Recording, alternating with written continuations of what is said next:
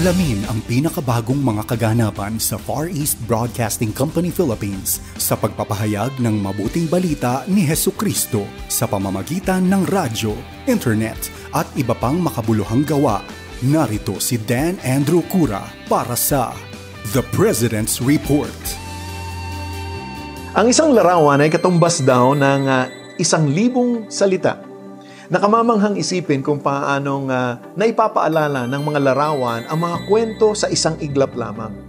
Sa 74 na taon na nagsasahing papawid ang FEBC Philippines, nakalap nito ang di mabilang na litrato, kalakip ang mga kwento at uh, patutuo ng ating mga tagapakinig at uh, nagpapakita ng uh, dakilang pag-ibig ng Diyos at ang kanyang ginawa upang maligtas ang sangkatauhan.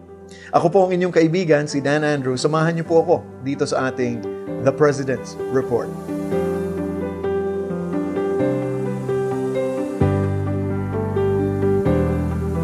Naku, sigurado po ako na marami sa ating uh, matagal ng tagapakinig ang uh, naaalala po ang kantang ito. Christ to the world by radio, making Him known across the land. Ito po ang misyon ng FEBC mula nang uh, magsimula po ito hanggang ngayon. Nakalipas na ang 74 na taon. Kasunod ng ikalawang digmaang pandaigdig, ang radyo po ang uh, pinaka maayos at pangunahing teknolohiya at isang uh, mahalagang kasangkapan sa isang sambahayan.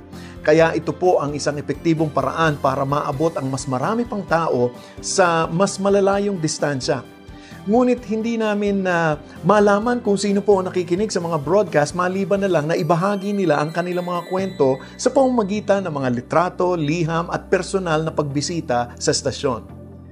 Para po sa nakikinig sa radyo, maaari ninyong makita ang mga larawan sa video version ng ating President's Report sa Facebook or sa YouTube site natin.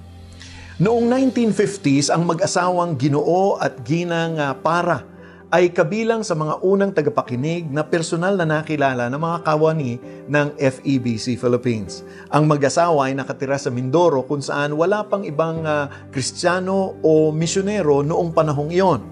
Ngunit sa awa ng Diyos, nakarating po sa kanila doon sa isla ang mga radio broadcast ng DZAS. Sa pakikinig sa DZAS sa loob ng halos isang taon, ibinahagi ng mag-asawa sa kanilang sariling salita na ang espiritu ng katotohanan ay dumating sa amin. Nang magpasya silang sumunod kay Kristo, ninais nilang magpabautismo. Kaya naku, bumisita sila sa FEBC sa Karuhatan, Valenzuela at doon nila nakausap ang unang FEBC president na si Robert Bob Bowman at ang direktor ng DZAS na si Max Atienza. Ang mga portable missionary radios naman o PM radio ay uh, ipinamahagi sa maraming lugar kung saan ang mga tao ay walang radyo. Noong 1960s, isa sa mga nakatanggap ng PM radio ay si Ginoong Feliciano Paano. Si Feliciano ay isang mananampalataya na tapat na tagapakinig ng programang Damdaming Bayan ng DZAS, programa ni Max Atienza at ni Kaesong Marcelo. Nagkaroon siya ng ketong at kinailangang magretiro sa Kulyon Leper Colony sa Palawan.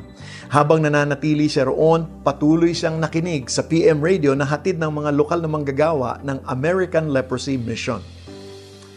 Sa pagtatapos naman ng dekada 70, libu-libong liham ang nagsimulang bumuhos sa FEBC mula sa China. Sa panahong iyon, ang FEBC ay patuloy na nagsasahing papawid sa China sa loob ng 30 taon dahil ang radyo lamang ang tanging paraan upang makapagministeryo doon matapos na paalisin ang mga dayuhang misyonero. Bawat liham ay nagsasalaysay kung paano ginamit ng Panginoon ang mga broadcast para patatagin ang kanilang pananampalataya sa kabila ng pagbabawal dito.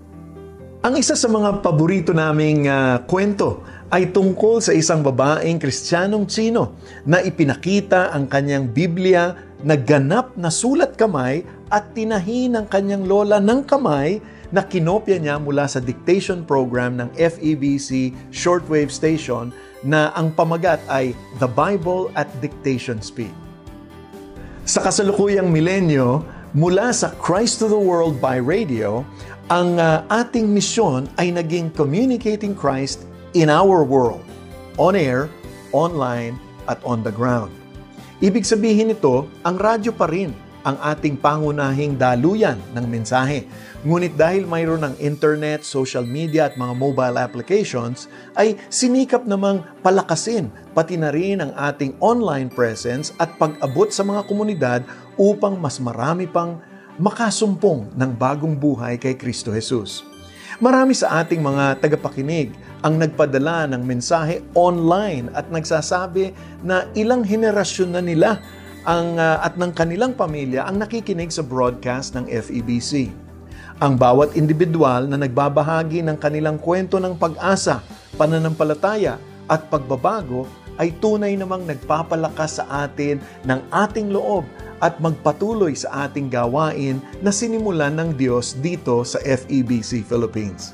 Sa pamamagitan ng mga patutuo mo sa kung paano nga nakatutulong ang broadcast sa iyong spiritual na paglalakbay, magagamit ka ng Panginoon upang magbigay inspirasyon para sa iba. Bago po ako magpaalam, mabay nais ko pong anyayahan ang ating mga kaagapay sa Cavite at mga kalapit na lunsod sa timog ng Maynila na dumalo po sa ating FEBC Friends Fellowship sa darating na Sabado, Hunyo 25, alas 10 ng umaga sa Christ Commission Fellowship, Imus, Cavite. Isama mo na rin ang iyong pamilya at mga kaibigan, lalo na yung mga interesado na malaman ang patungkol sa gawain ng FEBC Philippines. Para po sa karagdagang detalye, abang mangyari pong bisitahin ang ating uh, FEBC Radio Facebook page o di kaya naman po mag-email sa info at febc.ph. Naku, maraming maraming salamat po sa inyong pakikinig. Ako po ang inyong kaibigan, si Dan Andrew para sa The President's Report. Abay, magkita-kita po tayong muli at pagpalain po kayo ng ating Panginoon.